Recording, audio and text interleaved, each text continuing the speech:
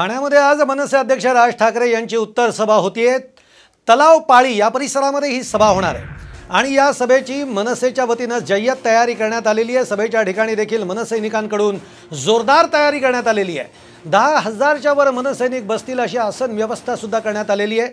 मंचाच्या दोन्ही बाजूला दोन मोठे स्क्रीन लावण्यात आलेले आहेत. आपण दृश्यांमधनं सुद्धा बघतोय की गर्दी हळूहळू तिथं वाढायला लागलेली आहे. मनसैनिक मनकार्य मनसे कार्यकर्ते हे आता सभेच्या ठिकाणी जमायला लागलेले आहेत आणि जवळपास दहा हजारच्या वर मनसैनिक हे राजसाहेब ठाकरे यांचं भाषण ऐकण्यासाठी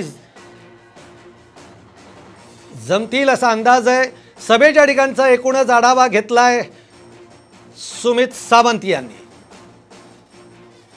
दोन हजार सतरा नंतर पहिल्यांदाच मनसे अध्यक्ष राज ठाकरे यांची ठाण्यामध्ये सभा पार पडणार आहे. आणि त्यासाठी जय्यत तयारी ठाण्यातल्या मनसैनिकांनी केलेली आहे. सध्या आपण त्या ठिकाणी आहोत जिथे ही सभा होणार आहे. राज ठाकरेंची सभा होणार आहे. आणि आपण बघतोय इथे भव्य असं एक मंच तयार करण्यात आलेला आहे आणि ज्याच्यावर महाराष्ट्र नवनिर्माण सेना आणि त्याच्या बरोबर शेजारी दोन स्क्रीन लावण्यात आले आहेत. हे मोठमोठे दोन स्क्रीन त्यासाठी आहेत. काही दिवसांपूर्वीच एक शक्यता देखील वर्तवली जात होती किंवा असे संकेत दिले जात होते की पुन्हा एकदा लाव रे तो व्हिडिओचा अनुभव सगळ्यांना घेता येणार आहे. राज ठाकरेंची उत्तर सभा ही बऱ्याच अर्थांनी महत्त्वपूर्ण ठरणार आहे कारण वेगवेगळे मुद्दे ते आपल्या या सभेमध्ये मांडू शकणार आहेत आणि त्यासाठीच आपण बघतोय.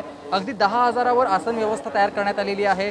येणाऱ्या व्ही आय पीसाठी एक वेगळी आसन व्यवस्था ठेवण्यात आलेली आहे. आणि राज ठाकरे ज्या ठिकाणाहून म्हणजे मुंबईत ए- मुंबईतून ठाण्याच्या प्रवेशद्वारावर आल्यानंतर त्या ठिकाणाहून ठाण्यातल्या मनसैनिकांकडून एक रॅलीचं आयोजन करण्यात आलेलं आहे.